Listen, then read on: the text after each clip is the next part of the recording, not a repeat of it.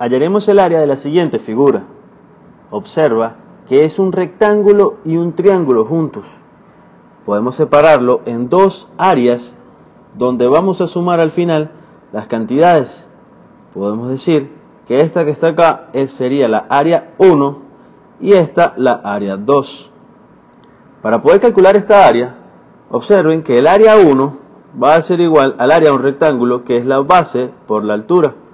La base es igual a x al cuadrado más 2 y la altura es igual a 4x. Sustituyendo, el área 1 va a ser igual a x al cuadrado más 2 que multiplica a 4x que sería la altura. Ahora, para el caso del área 2, tenemos que es un triángulo y la fórmula del área del triángulo es la base por la altura sobre 2. La base sabemos que es x y la altura es la misma altura que tiene el rectángulo. Por ello podemos escribir que sería x, que es la base, por la altura que es 4x sobre 2. En este caso, 4 se cancela con el 2, simplificándose, obteniendo que es 2x al cuadrado el área 2.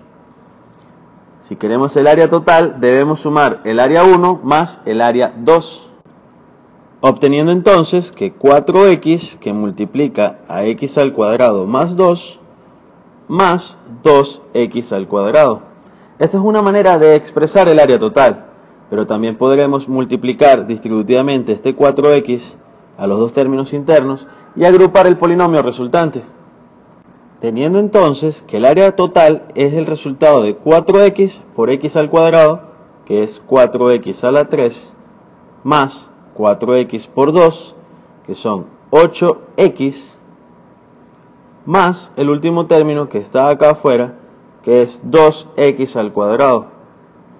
Agrupando y ordenando los términos tendríamos entonces que sería 4x a la 3 más 2x al cuadrado más 8x.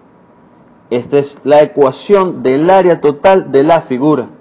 Si quieres un valor exacto, simplemente sustituye la cantidad que tú quieras en x y sacas la cuenta.